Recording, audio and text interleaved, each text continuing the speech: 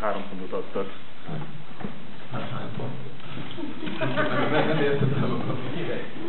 Tehát ugye Romániából 10 pontot kaptál, Ukrajnából, tehát a Kárpátalja, Oké. ott valószínűleg akkor három pontot, tehát sok volt, kevés volt. vagy- Hát bármennyi pontot nekem jó, persze értékem, és hálás vagyok minden kis pontra, csak azt tudom mondani, hogy köszönöm.